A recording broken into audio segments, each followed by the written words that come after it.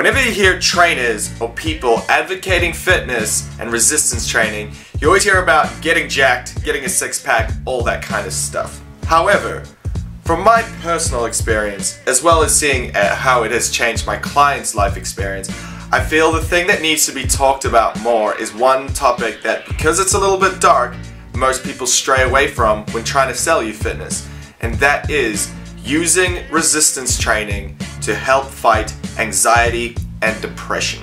Here are five reasons why, if you're experiencing anxiety or depression, you should start resistance training.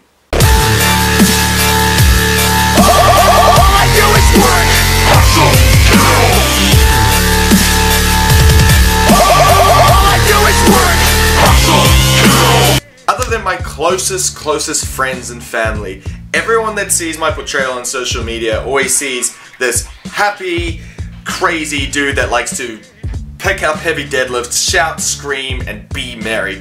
However, I originally got into resistance training not to get jacked, not to get strong, but kind of because I was in a dark part of my life. And as a person that is a creative, I've got a lot of anxious thoughts and I'm not quite as mentally stable as a lot of people may think. But I have found that using resistance training as a grounding means to be the most beneficial thing I ever introduced into my life. Number one, the release of endorphins post-workout. Because your body's been through a bunch of stress, you'll find that when you get through a workout, boom, you're just gonna feel better. And this is a mechanism to calm the stress that you've just put yourself through because your body releases endorphins. So no one ever goes through a workout, no matter how hard it is to start the workout, and at the end of it goes, I really wish I hadn't done that workout. I guarantee you'll feel better. Number two, overcoming challenge. Now, the reason for a lot of circumstantial anxiety and circumstantial depression is due to factors in your life that are overwhelming, hard to control, and you're struggling to overcome them and you can feel a bit lost. However, 20 kgs is always 20 kgs. The gym offers a place in which you can problem solve, overcome challenge in a consistent manner. It's always there. You're not going to be deadlifting one day and suddenly 100 kgs without anybody telling you is suddenly 200 kgs and rather than anyone helping out, it just is and is now the problem. No, there is consistency in what you're able to do and you're able to set yourself tasks, see a way forwards, whether that's by yourself or by implementing a personal trainer and overcome it. It is challenge that promotes growth whilst being consistent enough for you to be able to handle it and therefore reap the rewards of getting shit done. Number three, it's all about changing the perspective of everything else. If you program yourself a grueling workout, say you do it in the morning and you get it done, it will be the hardest thing you do that day. Everything else will pale in comparison. Sure, there may be some long-term things that are overshadowing, that are way more difficult than that workout. But however, to overcome large things, you gotta make small progress, step by step. So therefore, by having a grueling workout and feeling like you beat it, it being this hard part of your day, this being at times the shittiest part of your day, everything else becomes a lot more manageable. And this is vital in taking the steps in fixing your situation and just trying to eliminate anxiety, trying to eliminate depression. Everything else is going to seem manageable after this. So get it done. Number four, mental focus and clarity. You know that if you're anxious, you are depressed, you feel like there is a fog over all of your thoughts and you can't quite make your way through that fog and it's really holding you back. Through the use of exercise, it has been scientifically proven to stimulate the neurons in your brain to be firing more efficiently, essentially raising that fog.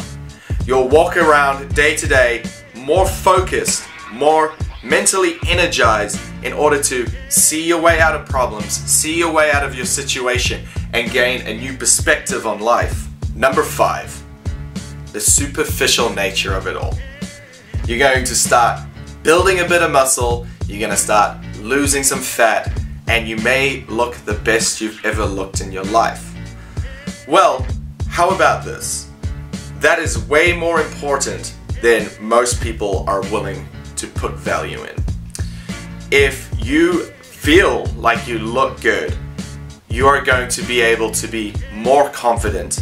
And with more confidence comes with never second guessing your thought process.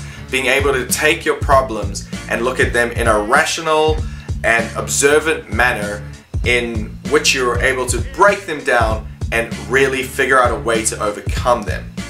Fix the body, the mind will follow. Dress for the job you want, not the job you have. And I think this is super important. You have consistent control of your body, so rather than doing something negative with it, that's where you get your body dysmorphia, such as anorexia, bulimia, all that kind of stuff. Do something positive for it. Take control of it. Take it back. You only get one meat vessel that you get to travel this weird and wonderful world we live in. Take care of it. Now you're probably saying, Damien, not all depression and anxiety is circumstantial. I am aware of this.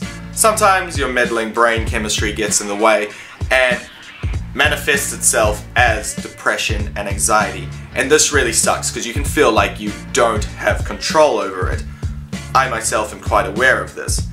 Um, however, implementing some sort of fitness, some sort of resistance training is still going to benefit you. Other than the kick of endorphins it's going to beat any SSRI on the market, um, the overcoming of challenges, and the other steps that I have just listed, having something that you're in control of in your life that impacts it positively is going to do you wonders no matter what your situation is. Taking back control of something in this chaotic world by implementing a routine that you can rely on for these bursts of endorphins and to be constantly progressing and feeling better, overcoming challenge day by day is definitely going to do you positive. So like I said, it's not all about smashing PBs, lifting heavy deadlifts, all that kind of stuff that I sure as hell am into. I like to look after the mental sanity of my clients and I have seen some great things achieved by people in these situations. And also when it comes down to it, I'm a personal trainer second to just being a person. So if any of this has resonated with you and you want to talk to someone that comes from a place that understands what you're going through, can understand what a barrier exercise is, never hesitate to PM me. Whether you're my friend on Facebook or just a follower on Instagram or somehow this video has made it to you, just look me up, message to you. I promise you I will message you back and I can help you implement some steps in order to achieve this. So, gonna keep this video nice and short. Hope you guys got something out of it. If you feel like talking about anything, either comment or DM me. But otherwise, keep making some gains. All Work.